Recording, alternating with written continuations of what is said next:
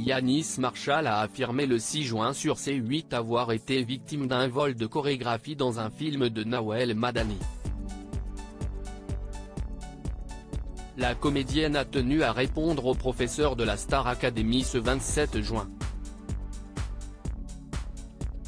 Yanis Marshall, le célèbre chorégraphe et professeur de la Star Academy, qui fera son retour le 4 novembre prochain, a récemment assuré avoir été victime d'un vol de chorégraphie dans un film de Nawel Madani, Si est tout pour moi, sorti fin 2017 et actuellement disponible sur Netflix.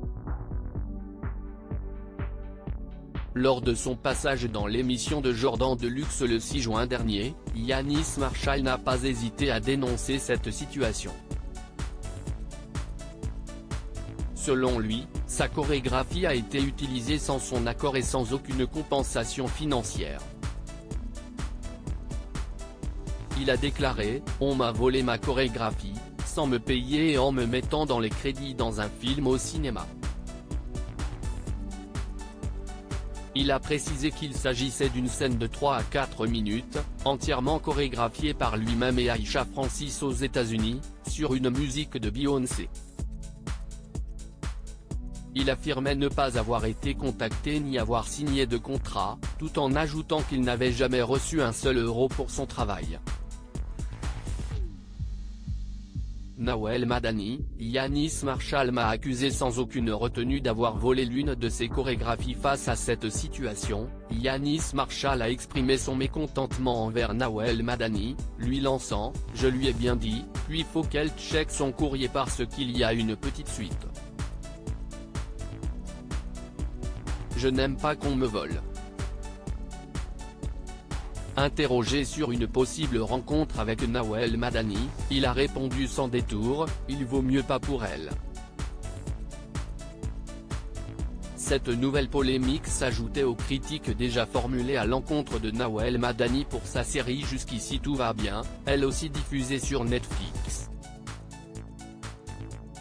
La série avait suscité de vives réactions et a été accusée de véhiculer des clichés et des stéréotypes dégradants envers la communauté maghrébine, les Noirs et les musulmans. Ce mardi 27 juin, avant son émission du jour, Jordan Deluxe a pris quelques minutes au début de son émission du mardi 27 juin 2023 pour lire à l'antenne un communiqué reçu de la part de Nawel Madani.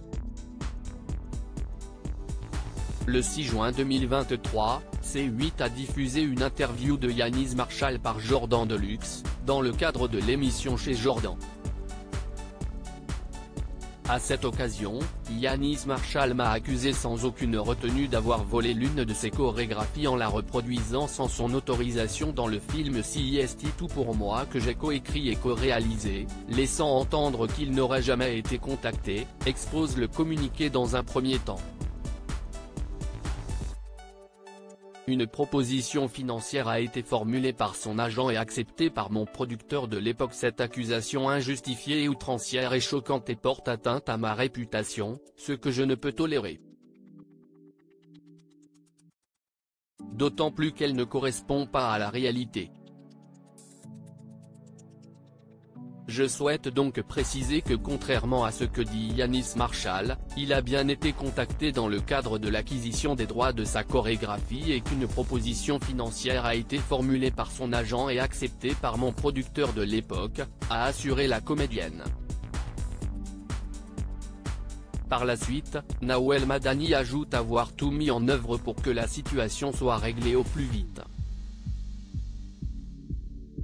Dès que l'agent de Yanis Marshall m'a informé que la production ne lui avait pas payé le montant convenu, je suis intervenu auprès de celle-ci pour qu'il soit rémunéré. Je regrette que Yanis Marshall profère ainsi des accusations erronées par voie de presse, malgré les réponses et explications qui lui ont été apportées à plusieurs reprises, notamment par le producteur lui-même, démontrant ainsi mon absence de responsabilité dans cette affaire puisque je n'étais pas en charge du paiement de ses dépenses, a-t-elle rappelé avant de noter que le danseur n'avait engagé aucune poursuite à son encontre depuis la sortie du film en 2017.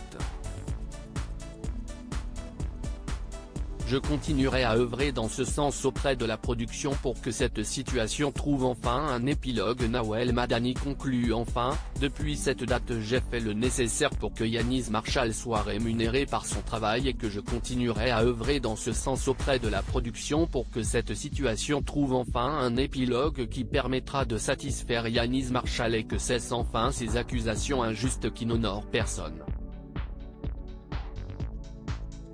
Le professeur de la Star AC va-t-il réagir?